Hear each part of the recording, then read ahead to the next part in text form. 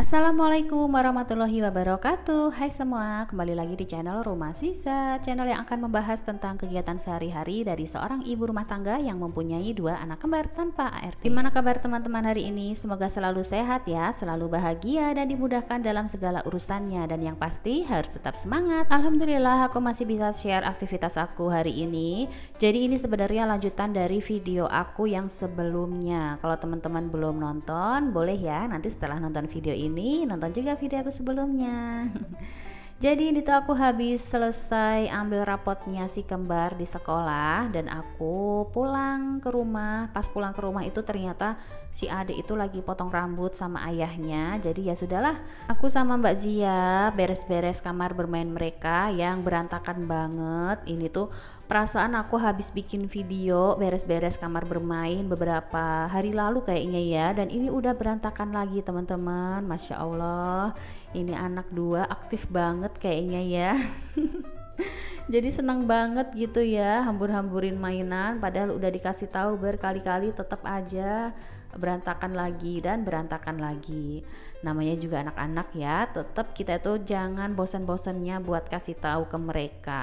Walaupun ujung-ujungnya masih tetap berantakan karena nggak cuman sekali dua kali kita kasih tahu mereka langsung paham ya harus berkali-kali dan butuh kesabaran yang ekstra kayaknya Oke, ini aku beres-beres ditemenin sama Mbak Zia dan dia itu belum ganti baju. Dia nggak mau katanya buat ganti baju. Katanya biar sekalian yang kotor gitu ya, biar Bunda katanya nggak banyak cucian gitu. nah ini si Ade udah selesai, udah pulang dari tukang cukur rambut. Ini langsung mereka itu ambil buku. Jadi di apa namanya tadi pas ngambil rapot itu kan eh, tugas-tugas uh, mereka pas di sekolah kayak lembar kerja pada saat di sekolah itu kan dibagiin gitu ya teman-teman ditaruh di satu map gitu.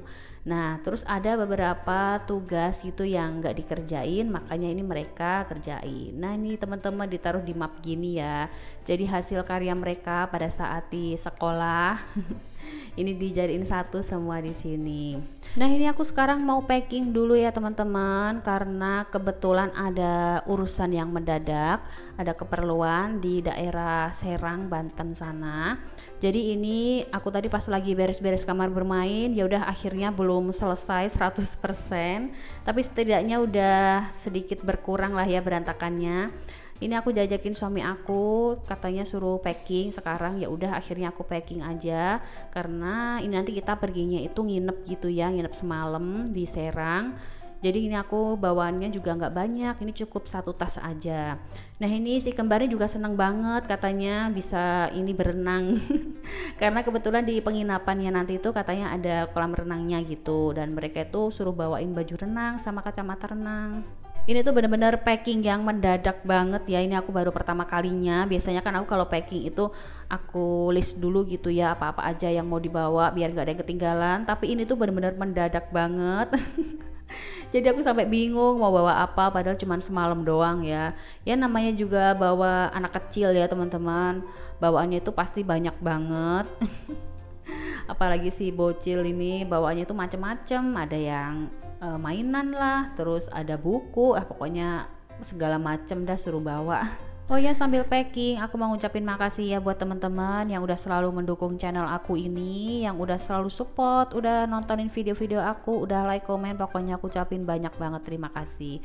Dan buat teman-teman yang baru menemukan video ini, aku ucapin selamat datang dan salam kenal dari aku, seorang ibu rumah tangga yang mempunyai dua anak. Nah ini tadi aku udah selesai packing bajunya, emang gak banyak ya bawahnya. Terus ini aku mau nutupin gorden dulu, karena kan nginep ya teman-teman. Jadi ini mau aku tutup-tutupin dulu semua, aku cek-cekin jendela di kamar juga.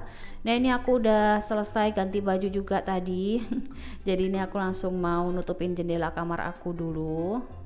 Ini si kembar sama ayahnya udah di bawah. Jadi ayahnya itu yang ngurusin si kembar ya. Makain sepatu makain kos kaki.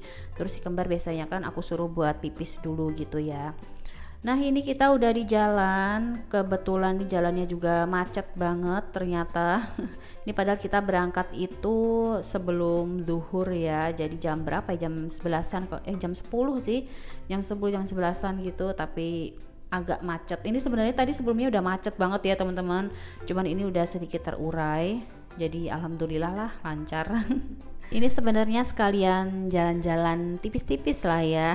Karena kan aku seorang ibu rumah tangga juga butuh refreshing dong masa di rumah terus. Walaupun cuman diajakin gini doang tuh udah seneng banget ya. Nah ini kita lagi berhenti sebentar di rest area karena ayahnya si kembar itu katanya ngantuk gitu. Ya udah akhirnya aku suruh istirahat dulu, aku suruh tiduran sebentar gitu.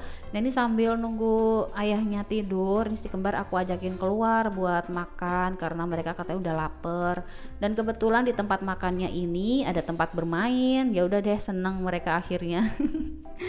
Nah ini makanannya udah dateng Tadi tuh si kembar minta nasi goreng dan aku tuh pengen beli bakso. Ini tuh bakso Malang gitu ya teman-teman. Aku pengen yang berkuah dan pedas gitu karena aku pas di jalan tadi tuh agak pusing sebenarnya. aku kalau naik kendaraan pusing gitu biasanya sih uh, makan yang pedas-pedas berkuah gitu langsung hilang pusingnya tapi ini pas uh, aku icip ternyata nggak pedas padahal aku sambelnya tuh udah banyak banget emang sambelnya aja kali ya yang nggak pedas kan kadang ada itu ya teman-teman sambal yang nggak pedes gitu kita makainya udah banyak banget tapi tetap aja nggak pedes gitu ya tapi nggak apa-apa lah ya setidaknya mengurangi pusing aku gitu Nah ini si kembar ini masih mainan, jadi dia tuh minta mainan sambil disuapin. Biasanya sih juga nggak gitu ya, kalau di tempat makan biasanya mereka tuh duduk anteng, cuman berhubung ini ada mainannya, jadi mereka tuh lebih tertarik ke mainan. Dan ini kita udah di mobil lagi. Tadi itu ayahnya si kembar minta dibeliin apa ini silin ya, yang ayam itu loh teman-teman. Dan ini ayahnya si kembar juga lagi sholat di masjid. Tadi aku juga udah sholat jadi gantian gitu. Ini si Mbak Zianya lagi ngemilin makanannya ayahnya. Katanya masih lapar.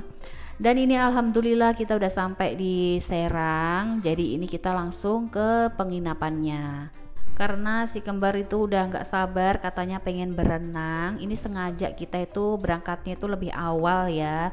Jadi tadi tuh emang ada keperluan sebentar. Ya udah terus akhirnya kita langsung ke penginapan. Ini suami lagi check in dibuntutin sama si kembar. Kalau ayahnya ke mana aja diikutin terus. Nah ini di lobby ada tempat bermainnya juga ternyata. Ini udah incerannya si kembar nih kayaknya. Cuman berhubung ini kan katanya si kembar mau berenang gitu ya. Jadi ya udahlah mainnya entar aja. Ini kan juga udah sore gitu teman-teman. Udah asar sih ini. Nah ini kita udah dapet kunci kamarnya. Ini kita lagi di lift mau menuju ke kamar hotelnya. Ini ada di lantai 9 aku sebenarnya agak deg-degan juga ya. Apalagi sekarang kan lagi musim gempa aku ngeri juga sih di lantai 9 ntar kalau ada gempa gimana gitu. Kata suami udahlah nggak apa-apa Bismillah aja gitu. Nah ini udah sampai si kembar tuh seneng banget pokoknya kalau disuruh nginep di hotel happy mereka itu ya. Bukan cuma si kembar sih maknya juga happy ya Oke teman-teman sekian dulu ya video dari aku semoga menghibur teman-teman semua dan jangan lupa kalau kalian suka ditekan tombol like-nya dan subscribe juga channel ini. Sampai ketemu di video selanjutnya. Wassalamualaikum.